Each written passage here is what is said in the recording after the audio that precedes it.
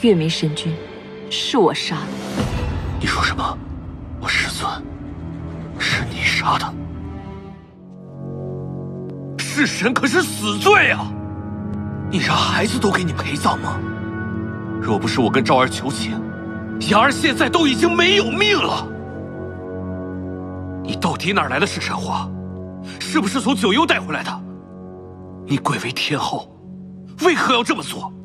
你到底怎么想的？月明神君，是我杀的。你说什么？我师尊是你杀的？这个谎我撒了六万年，如今我藏不住了。怪不得你屡次挑起仙妖之争，方才执意要追杀后池与妖神。该怎么罚，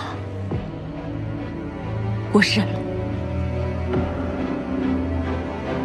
那可是我的师尊，你让我如何自处？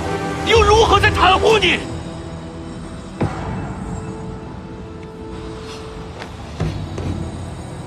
六万年前，我本要阻止妖神开启灭世阵法，没想到月明神君突然冲上来护着妖神。我想要阻止的是妖神，没想到他竟……当真？这只是个意外吗？月明神君待我不薄，又是你的师尊。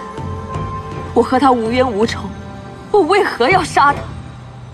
你知道我出身低微，是上古神尊阴差阳错将我带上神界。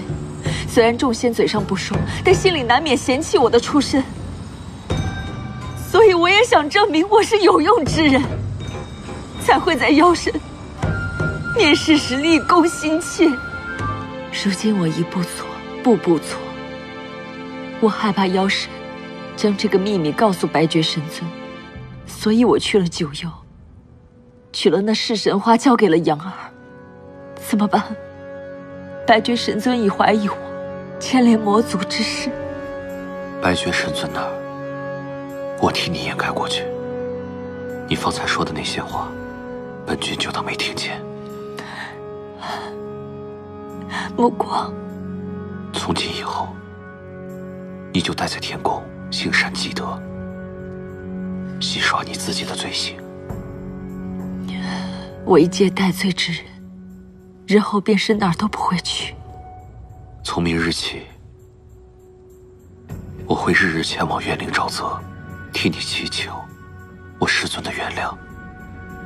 若白绝神尊追究起此事，我们该如何？功过能抵过。便相抵，不能相抵，本君与你一同受罚。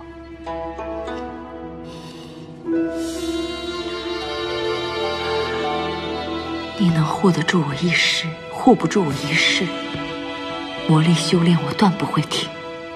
若是上古归来，白绝恢复神力也追究于我，我岂不是会再次沦为下等仙君？